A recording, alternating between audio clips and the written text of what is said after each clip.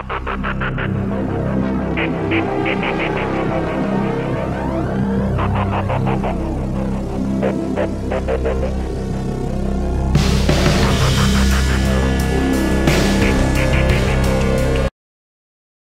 Philippine Navy reaffirmed its commitment to maintaining the reliability and operational readiness of its warships by carrying out quarterly firing drills which took place on June 18.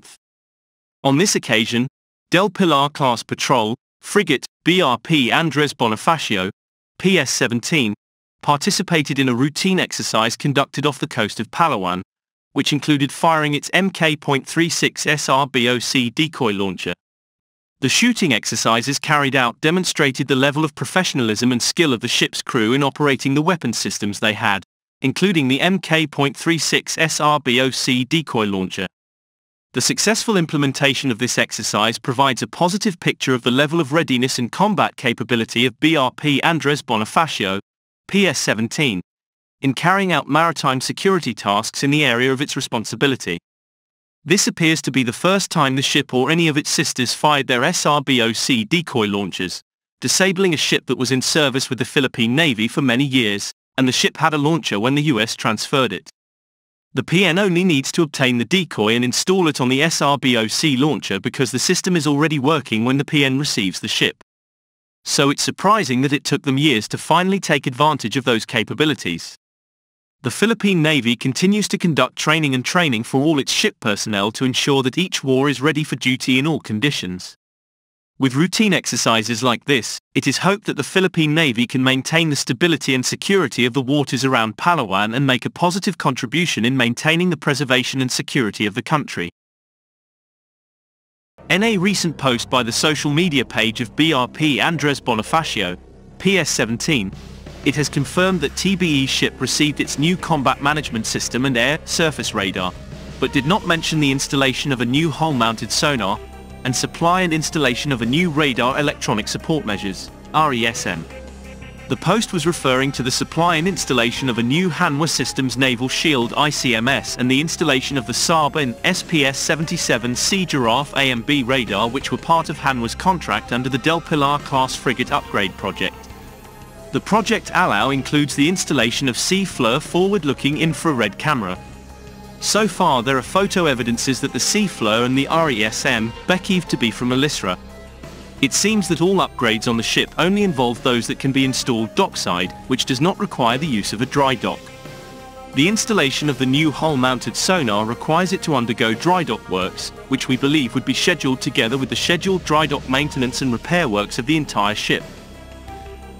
In today's military news, the Philippine Navy has officially announced that its offshore patrol vessel, the Del Pilar class, has achieved full operational capability after undergoing a comprehensive four-year overhaul during these past years. The Del Pilar class has undergone significant upgrades including the integration of advanced modern sensors, secondary weapon systems and combat management systems. This initiative by the government aimed to bring these vessels up to par with their newer counterparts. The resolve the Navy's Del Pilar class lead ship BRP Gregorio Del Pilar along with her companions BRP BRP Ramon Alcaraz PS-16 and BRP Andres Bonifacio PS-17 were previously part of the U.S. Coast Guard Cutter Fleet and were lived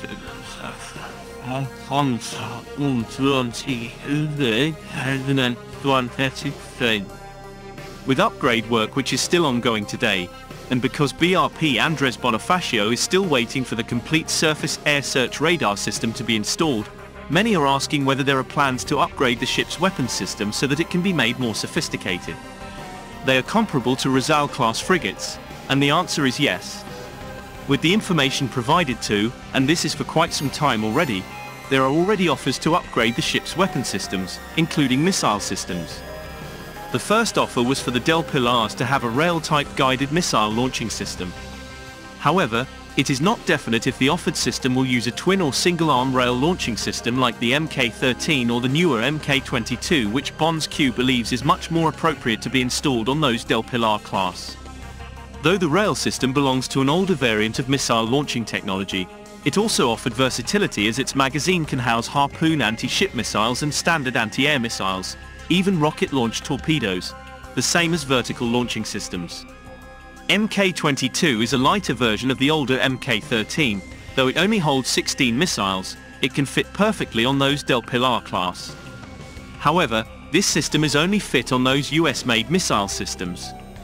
We believe this offer has been considered by the Philippine government. The only problem is, the Navy cannot afford a single Del Pilar that is out of service due to massive upgrade work.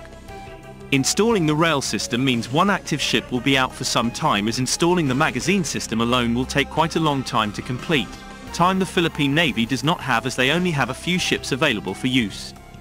Patrol duty.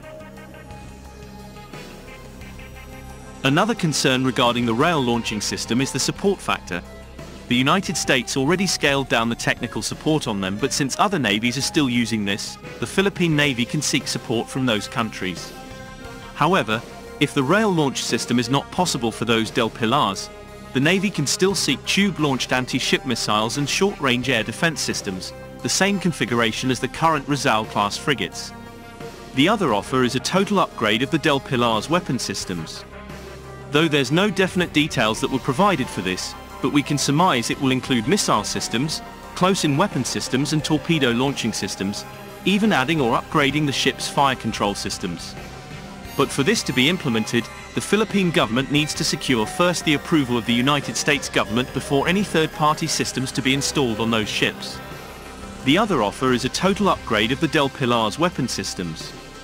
Though there's no definite details that were provided for this, but we can surmise it will include missile systems, close-in weapon systems and torpedo launching systems, even adding or upgrading the ship's fire control systems.